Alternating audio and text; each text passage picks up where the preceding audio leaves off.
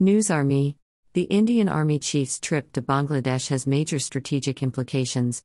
General Manoj Pande, India's Army commander, recently visited Bangladesh, July 18 to 20th, as part of their excellent military ties. General Manoj Pande's first overseas tour.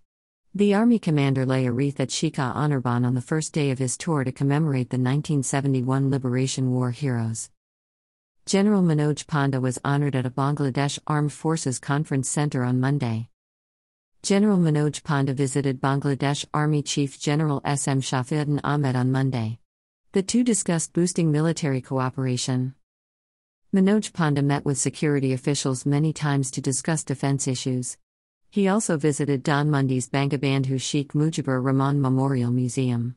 He met with Sheikh Hasina on Tuesday to boost mutual relations.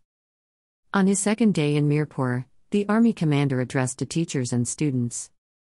After there, he visited with officials at the Bangladesh Institute of Peace Support and Operation Training, which trains peacekeepers for UN peace missions. He then visited Mirpur's Bangabandhu Military Museum.